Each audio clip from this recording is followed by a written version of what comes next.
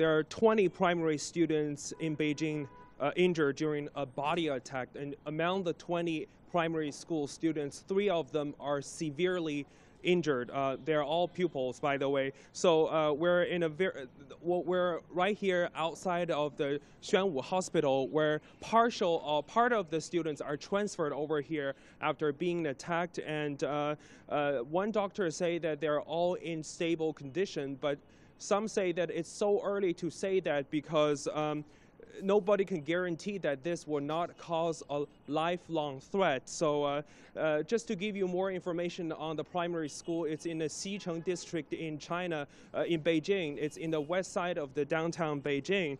And uh, it happened actually in 11 a.m. local time, around 11 a.m. local time. And uh, uh, there was one staff member trying to body attack, trying to hit 20 students from six multiple different classrooms.